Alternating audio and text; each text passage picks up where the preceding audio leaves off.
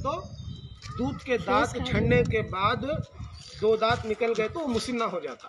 वो कुर्बानी के लायक का बकरा। अभी जिसके दूध के दांत नहीं झड़ को रहते वो मुसिन्ना नहीं होता। बहुत सारे मुसलमान भाई दांतों को देखे बगैर सिंगा को देखो या फिर बकरे मोटा है बोल के देखो ले लेते।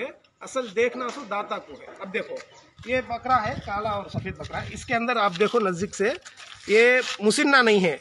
ये बरीक दाता है ना, ये दूध के दाता चाहिए। अभी झड़े नहीं। झड़े बाद दो दाता निकले तो कुर्बानी के लायक होता। ये नहीं है। अभी इसे देखो। ये पोटलेक देखो। अब ये पोटलेक देखो। दूध के दाता झड़ को बीच में जो दो चौड़े दाता निकले हैं। ये मुसिन्ना है ये। ये कुर्बानी के लायक का बकरा है। ठीक है? ये देखकर आप जो है कुर्बानी का बकरा लेना चाहिए। उसी वक्त हमारी कुर्बानी अल्लाह के पास इन कबूल होती है।